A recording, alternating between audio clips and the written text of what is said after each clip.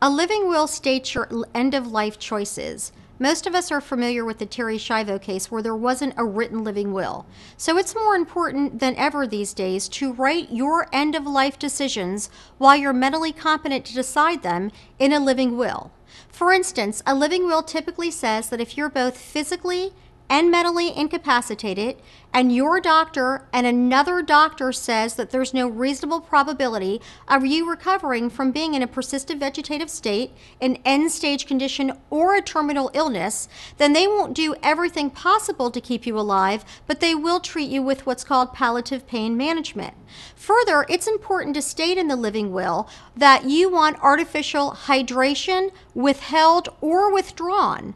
On that point, even though medically there's not a difference between withholding and withdrawing artificial hydration, emotionally for family members, it's tougher to withdraw than to withhold artificial hydration. Likewise with artificial nutrition. So you should ensure that your living will states whether you want artificial hydration and nutrition withheld or withdrawn, or whether you want that to be continued.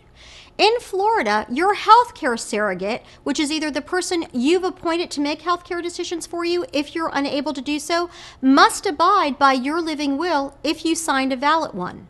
That means that if they decide they want you to have treatment that your doctors feel are contrary to your living will instructions, your living will will be honored.